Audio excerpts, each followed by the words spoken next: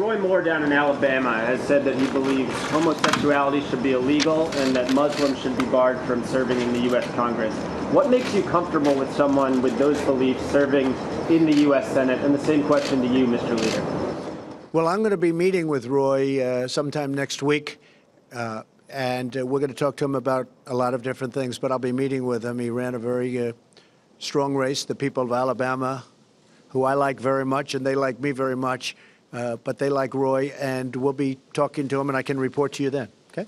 Mr. President, sir, Mr. President, Mr. President, sir. Go ahead. Hi, Mr. President, thank you. This is a question for you and for Leader McConnell. Following up on your comments on judges, one of the issues outstanding right now is whether the Senate Judiciary Committee will keep the tradition of blue slips. And I'm wondering what your position is, Mr. President, and what your position is, Leader McConnell, since, you know, this is the tradition that right now gives Democrats leverage over the appointments. I I can give you my position. The, the, the blue slip, for those of you who are not familiar with it, is a, is a custom determined by the chairman of the Judiciary Committee. And Senator Grassley can give you his view of how he views this. I'll give you my view. My, my view is that a blue slip on a circuit judge is simply a notification of how you're going to vote. Um, to conclude otherwise would have left us in the following position at the beginning of this Senate. 48 Democratic senators would have been able to blackball 62% of the circuit judge nominees. That's simply not a tenable uh, place to land in a Senate that now deals with judges the, with a simple majority.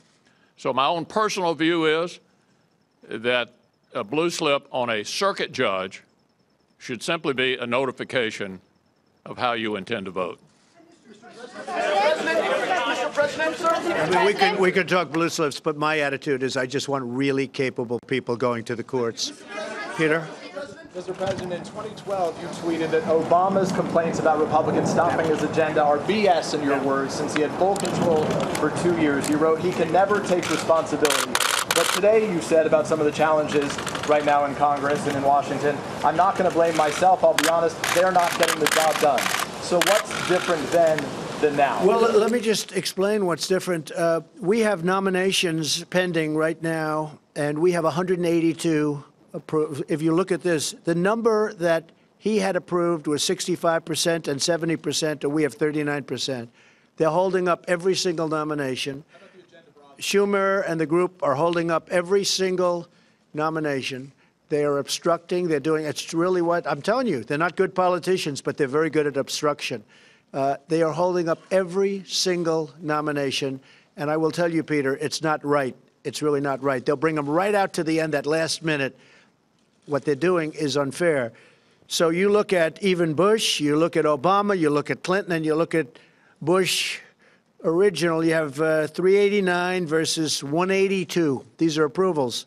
Uh, you look at Clinton, 357 versus 182. Uh, you look at President Obama, 364 versus 182. These are nominations approved. And what they're doing to us, we have unbelievable people in there waiting to be approved. They've been waiting for a long period of time. Now, I do believe that Mitch is going to start pushing them very hard and he can do that, and he wants to do that. He also wants to get the judicial nominations through, and he wants to get them through fast, too.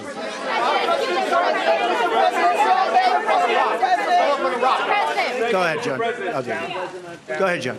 Could I, could I just follow on that, if, if I could? You, you seem to have a, a budding spirit of cooperation with the Senate Minority Leader and the House Minority Leader uh, when it came to the budget, when it came to this idea of finding a fix for DACA. But every proposal that you have floated since then, they have very critically rejected. So where is this relationship? Well, I hope to have a relationship. If we don't, we don't. I mean, we have uh, uh, races coming up, and as you know, in a year from now, I think we're going to probably do very well. I can say this: if we get taxes approved, we're going to do unbelievably well. Uh, many of the senators are running in states that I won by massive amounts 20, over 20 percent, sometimes 30 percent, I guess in one or two cases by over 40 percent over the Democrat. Uh, well, we're going to let you know that. At, I would like to give you that answer in about seven years from now. Is that okay? Mr. President, sir. Meaning one plus seven. I hope to be, John, I hope to be able to, because I like the concept of bipartisan. But right now, they are doing nothing but obstructing. And really, you know, if you think about it, they're against major tax cuts that's going to make our country stronger and more competitive. That's a hard thing to win an election on. And I believe that some Democrats will be voting for us when it comes to the tax cuts. Hey there, thanks for checking out CNBC on YouTube. Be sure to subscribe to stay up to date on all of the day's biggest stories. You can also click on any of the videos around me to watch the latest from CNBC. Thanks for watching.